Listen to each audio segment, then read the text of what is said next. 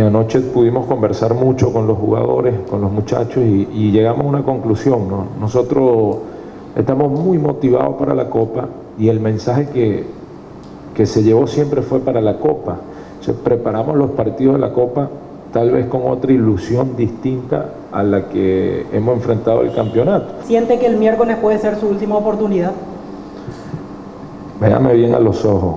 Mientras yo respire voy a jugarme todo, todo de cobarde nunca se escribieron la historia. Y de cobarde a mí no me han sacado ningún lugar. A lo mejor no sé el resultado o no, pero yo no voy a jugar contra Corintias pensando que voy a perder. Voy a jugar pensando que voy a ganar. Sea para bien o para mal.